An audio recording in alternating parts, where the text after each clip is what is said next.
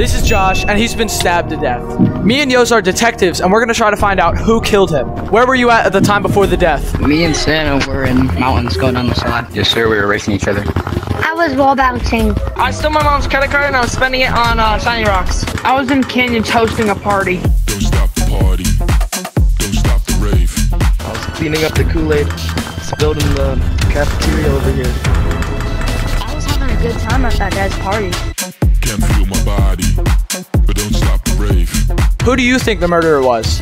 Leave your answer in the comments below.